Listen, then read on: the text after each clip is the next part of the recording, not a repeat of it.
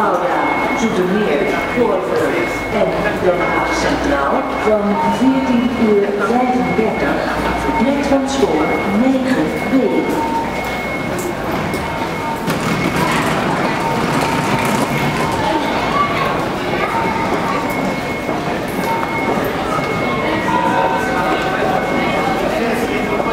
Dames en heren.